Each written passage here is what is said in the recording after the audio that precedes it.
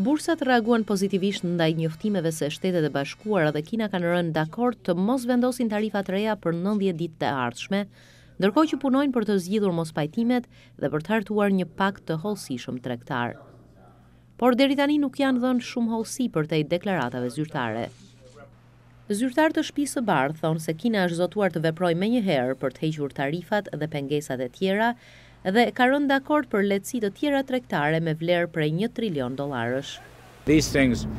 Këto gjëra varen nga situata e tregut, siç mund të imagjinohet. Varen nga kërkesat e konsumatorëve dhe nga gjendja e vendit. Për mua është e rëndësishme që po ulen tarifat. Kjo përbën ndryshim strukturor, së bashku me ndryshimet në pengesat e tjera tregtare. Nëse Pekini vepron me shpejtësi për të përmbushur premtimet, do të dëshmojë se është i angazhuar seriozisht për arritjen e një pakti tregtar. Xi Jinping appears ready to make some very clear. Xi Jinping duket se është i gatshëm për të realizuar disa akte të qarta, konkrete që mund të kënaqin administratën Trump. Por kjo nuk del qartë nga deklaratat zyrtare. Në fakt nuk ka asgjë konkrete në deklaratën zyrtare të Kinës. Analistët flasin për potencialin që ofron Kina nëse hapen tregjet, sidomos për automjete dhe shërbime financiare.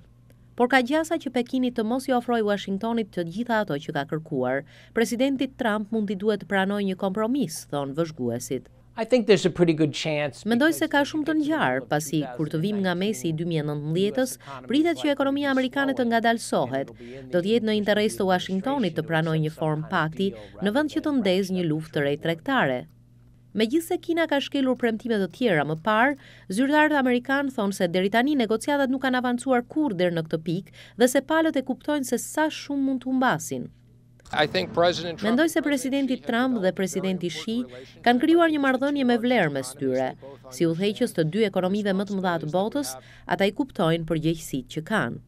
Nëse Uashingtoni dhe Pekini nuk arrijnë një marrëveshje deri më një mars, administrata Trump ka në plan t'i rrisë nga dhjetë në njëzet e pesë për qind tarifat ndaj importeve kineze.